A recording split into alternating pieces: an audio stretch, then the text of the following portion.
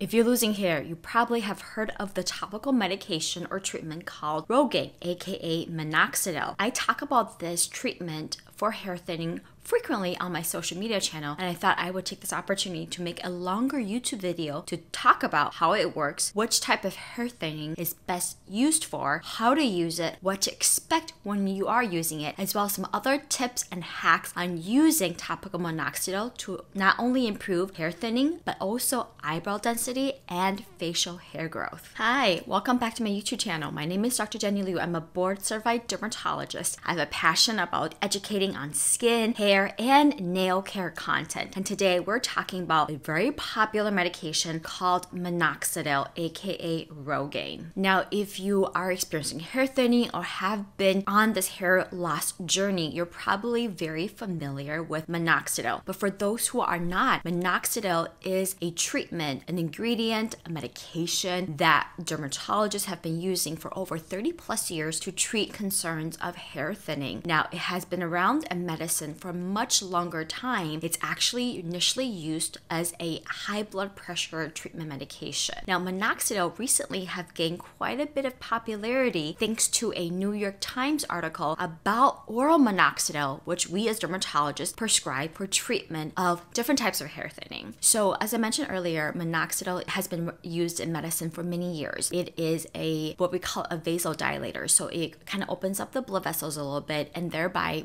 how it works in treating high blood pressure. We actually don't know exactly how minoxidil works for treating hair thinning, but we do know that number one, because of the effect, it may increase blood flow to the scalp and thereby, you know, bring nutrients and growth factors to the scalp to encourage hair growth. We also have seen that minoxidil will change the ion concentrations within cells, and actually, minoxidil has been shown to number one shorten the telogen phase, so the resting phase that occurs before hair shedding. So we shorten that, so more of your hair is transitioned to what's called the anagen or the growing phase. So basically, giving your hair longer time, allowing it to grow instead of shedding. So all of that together, we think is how topical as well as oral minoxidil works for hair thinning. Other thing for minoxidil is that it doesn't work in everyone, which is true. And some individuals who have said, I've used it for so long, doesn't work. The reason is that minoxidil is actually not the active form that takes effects in helping with hair thinning. Minoxidil actually has to be converted to what's called minoxidil sulfate, and that is the active form that acts on hair follicles to induce all those changes. And that conversion is done by a specific enzyme called sulfotransferase that we have in our parts of our body, like liver, but it's also present in our hair follicles. Now, the interesting thing about this enzyme is there is a large variability, um, genetic variability in particular, and the activity of this enzyme. What that means is some people's enzyme can be very active, while some individuals aren't as active, which makes sense. If your enzyme is active, you're going to get more conversion of minoxidil to the active form and thereby it's going to work better. And so for individuals who don't see a response to topical minoxidil, you know, certainly it could be the way you're using, but most likely it's because of that lower activity enzyme level that is really leading to suboptimal response and, you know, improvements. Now, when it comes to minoxidil, topically is available over the counter and is really one of the most effective over the counter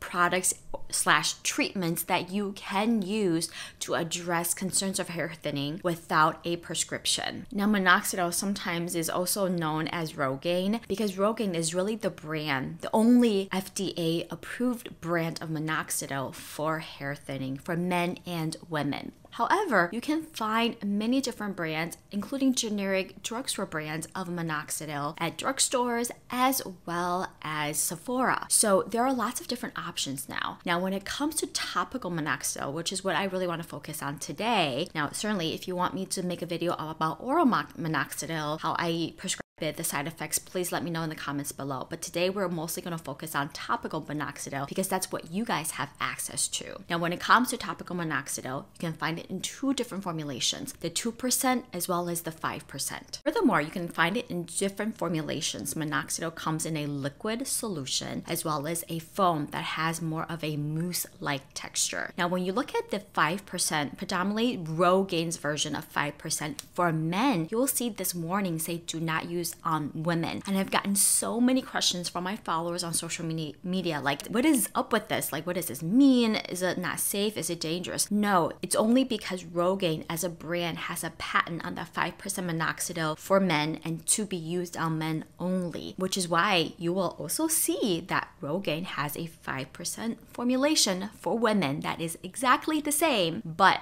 you will notice that there is a significant price difference, meaning there's actually a significant cost, higher cost to the women's formulation. So I tell all my patients both concentrations are safe to use, both formulations are fine to use. It just depends on your preference. And sometimes some one individual may actually do better with you know one formulation than the other but in general when you look at the different concentrations whether it's 2% versus 5% we know from large scale studies that 5% does work better for men and women so what I tell my patients and my followers on social media is if you are going to pick minoxidil and use it for hair thinning, go with the cheapest 5%. And I personally like and recommend the foam formulation because number one, the foam applies a little bit nicer. It doesn't drip down the face as readily, and sometimes that can cause undesired hair growth on the face if the solution sticks on your face and doesn't get washed away wiped off. And two, in that solution formulation, the liquid contains alcohol, it can be drying and irritating on the scalp. And furthermore, often contains propylene glycol, which is a necessary ingredient for the vehicle formulation. But some individuals individuals can actually have allergic contact dermatitis to that uh, propylene glycol in the solution. So my go-to recommendation, unless individuals have used the solution is tolerating it, if somebody's new to Rogaine, I recommend getting the cheapest, most affordable 5% foam. So minoxidil is really only approved for male female pattern hair thinning. However, off label as a dermatologist, because it's really one of the only available and fairly effective topical treatments without a prescription, I encourage all of my patients with different types of hair thinning to try minoxidil if they're willing and able to. So, the other most common type of hair thinning I recommend minoxidil for is what we call telogen effluvium. So, often that's stress related hair thinning, whether it's to COVID, to illness, or to post postpartum hair thinning. Certainly, other medical types of hair loss, like for example, alopecia areata, once a patient is on a good medical treatment regimen, certainly minoxidil may encourage hair to grow back faster. But in general, because topical minoxidil is easily available and fairly benign, low risk treatment, I do encourage all of my hair loss patients, regardless of the underlying cause, to try minoxidil. Now, what to expect when using topical minoxidil? First and foremost, you should apply it once a day to where you are experiencing hair thinning. Now, that could be localized temple or the top of the head, or if you're thinning all over, apply it all over. It's technically used once a day. However, I've had patients I have definitely seen better enhanced results when it's used twice a day. So it's one of those things where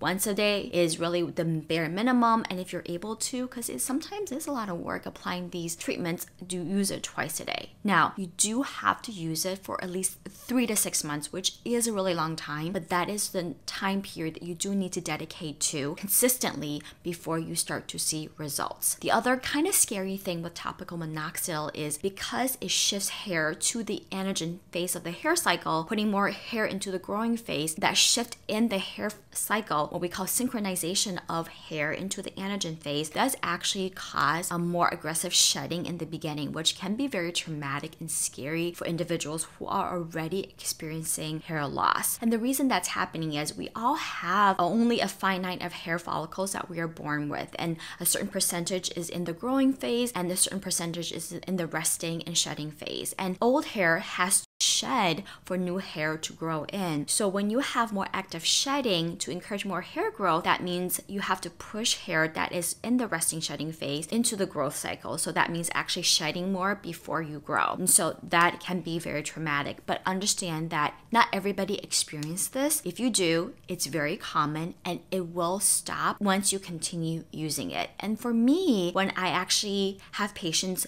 have that experience, it's actually a good sign because it means means minoxidil is working. You just have to get through that somewhat stressful and traumatic experience, but it actually means it's working. So, one question I always get is Do I have to use minoxidil forever? So, it, the answer is it depends. It depends on the type of hair loss you're addressing. For androgenetic hair loss, so male and female pattern hair loss, because this is a progressive and chronic type of hair loss, you do have to keep using it if you are noticing improvements of less thinning and hair regrowth. However, for like more temporary hair shedding, so like stress induced, maybe COVID or postpartum, you really need to just use it until you're in a happy place and then you can stop. Now, once you stop, the other question is like, am I gonna lose out the hair or what is my hair density gonna feel like? I'll describe it as if it's for the temporary type of shedding and you stop minoxidil, your hair may not feel as full as you were when you're on minoxidil, but you're not going to lose all of the hair that you've grown on minoxidil. Compared to if you have male and female pattern hair loss you will lose pretty much everything that you've grown while using minoxidil if you stop. Now as i mentioned earlier because of that enzyme variability in individuals only about 40 to 50% of people using minoxidil will notice a significant improvement. Now that improvement could vary also meaning it could just be the halting of hair thinning to hopefully